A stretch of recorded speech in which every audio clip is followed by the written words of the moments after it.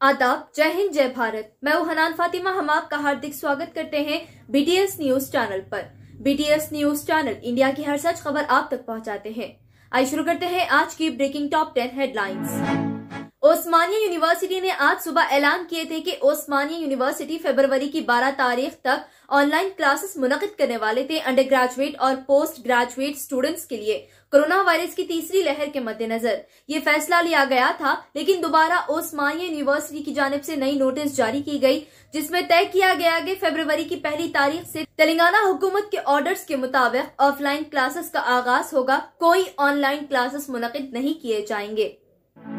Election Commission of India ने road show पदयात्रा cycle bike और किसी भी किस्म की गाड़ी के रैलियों को बैन कर दिए हैं फरवरी 11 तारीख तक कोरोना वायरस की तीसरी लहर के मद्देनजर। Reserve Bank of India RBI ने छुट्टियों का ऐलान किए तमाम प्राइवेट और पब्लिक बैंक्स को इंडिया भर में फरवरी के महीने में 12 दिन की छुट्टियों का ऐलान किया गया। इन छुट्टियों के चलते बैंकिंग एक्टिविटीज़ और एटीएम्स जारी रहेंगे। तेलंगाना रियासत में कल यानी फ़र्स्ट फरवरी से तेलंगाना हुकूमत ने तमाम एजुकेशनल इंस्टीट्यूशंस यानी तालीमी इदारे खोल देने का फैसला किए तेलंगाना मिनिस्टर केटीआर ने जलपली म्यूनसिपालिटी में 110 करोड़ रुपए के तामीराती काम का संगे बुनियाद रखे। पीने के पानी के लिए बहत्तर करोड़ रुपए के तामीराती काम का इफ्तदा अमल में आया। रोड के लिए उनतीस करोड़ रुपए की लागत मंजूर की गई।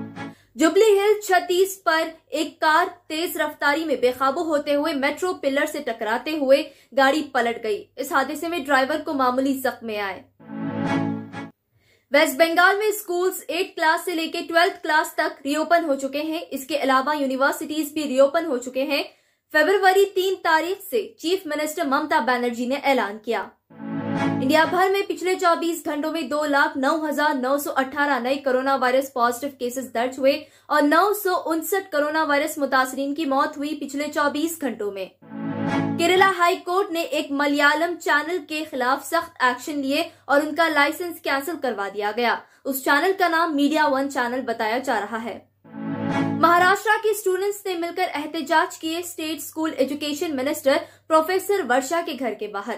ये एहतजाज ऑफलाइन एग्ज़ाम के खिलाफ किया गया स्टूडेंट्स की जानब से और मांग कर रहे हैं टेंथ और ट्वेल्थ क्लास के एग्ज़ाम्स ऑनलाइन मुनद किया जाए, कोरोना वायरस की तीसरी लहर के पेश नज़र।